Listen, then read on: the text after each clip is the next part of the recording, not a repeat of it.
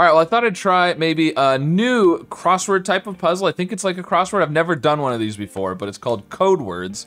And I thought sounded, it, basically just from the name, I thought Code Words sounded interesting. So uh, I'm gonna take a look at it and see what, what it is. This is from the Telegraph. Okay, so, all right, how to play. Let me get that on the screen so it looks nice. All right, so here we go. Here's the instructions. Okay, in code words, numbers are substituted for letters. Work out which number corresponds to which letter. Oh, okay, so like the two is L, so therefore all the twos are L. Okay, so it's like, uh, you can kind of see in the background there, we've got numbers in the grid. So it's like a crossword, except the same number is always the same letter. Some letters are given to start you off. Every letter is used at least once in the puzzle, and the completed grid contains no proper nouns. Okay.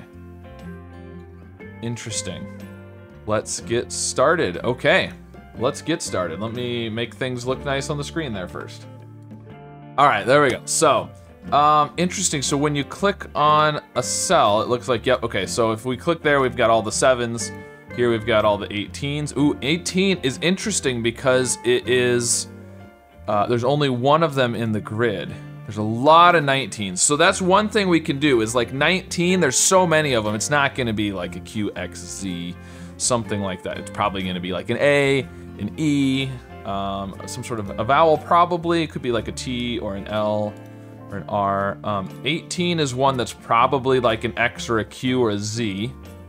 So, knowing that, we've got the H here. So the last letter is gonna be an unusual one. The one, eh, middle of the road. And the 14, not too many. So, and we can't do, okay, so I'm gonna say maybe this is W. Uh, I'm gonna say whiz for this one because the Z makes sense. The W makes sense to have four of them in the grid, right? And SW works pretty good up here. Um, now the 17 is one that's not very many as well. Now this could be like, hmm, you know, like a Q or something, but QS is not good. At the end here, it could be a K. K is not too bad, although the K up here the second letter when we don't have an S to go before it. It's not great, but it's possible. Um, ooh, this WH, I just noticed that. That's not great. That's not great. So, ooh, yeah, I'm not liking that anymore. Okay, maybe not WH, but, uh, Interesting, because whatever comes here at the has to be at the beginning of the word WH, but it also has to be at the end of the word WH.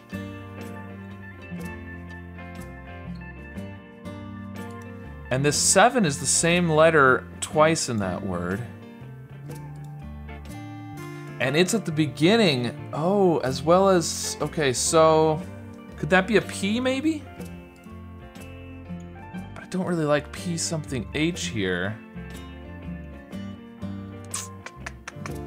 It's also something H at the beginning of this word. What about T? TH. That works pretty good. This this last this 14 is the one that's causing me trouble here. What about C? It could be C. There's not very many of them in the grid, but that's possible. This isn't too bad. Something like Thatch. And I liked Z there, but... Could be an X as well. But I'm not sure what... Mm, Z's not good there anyways, because it's SZ then, and SX isn't good either. Okay, so it's not... It's not going to be X or Z, because it has to come after the S.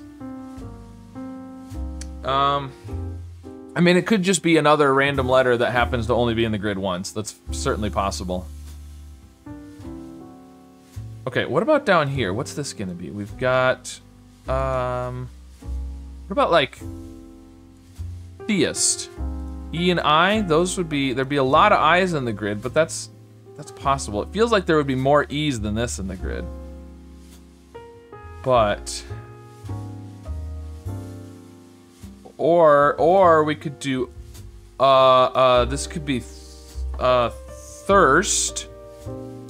Oh, maybe. I, there we go. thirst, and then STRI. This is really good. This is really good. This could be chip. There could just be one P. I mean, it's possible. Springy? Um, no. Spray, uh, this, I mean, I like, ooh, there's only one of these. So I like Shaver. Shaver is good, because V is good to have just one of, potentially. Um, what is this? Artet. This could be Scream. And Dreams? That's looking decent.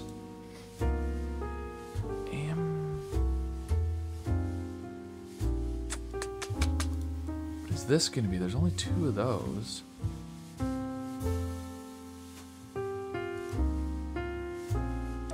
And what's what would this be with the V there?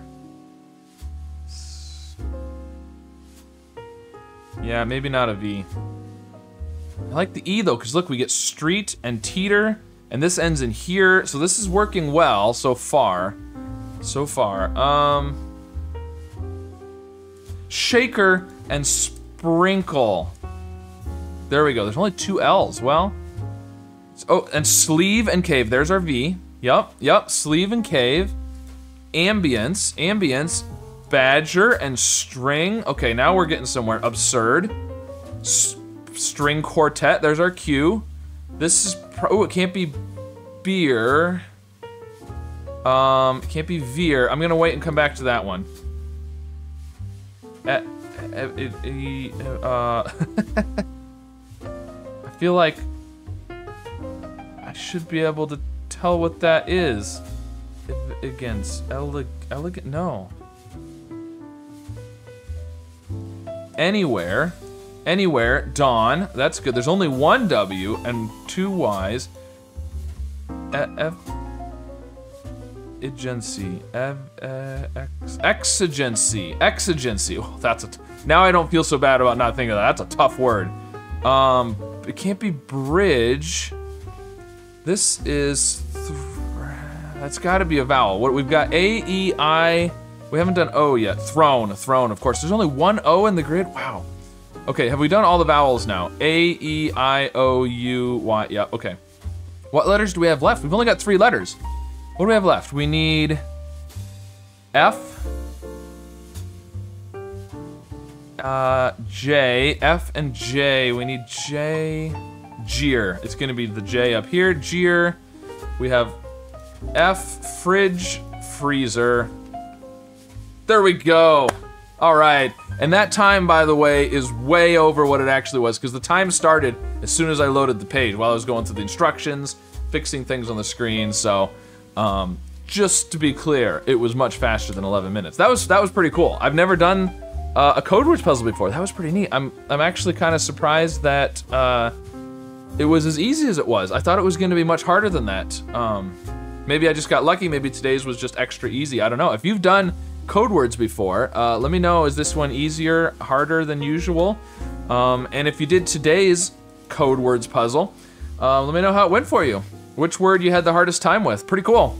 All right, so let me know what you think of this, and if you'd like to see me do some more code words in the future, and be sure to like and subscribe, and I'll see you again soon with some more puzzles. We'll pick a random available seat. Why? Who knows? That's just the kind of thing hypothetical passengers do. Um, that's pretty good. Let's go with that. Wow! No way! yeah, I mean, either apart or short could be right, or neither of them could be right. Who knows? I mean, 20 times 11 is 220. Then we would need to add 53. 40 plus 13 is 53. There we go. 11 times 20, 220.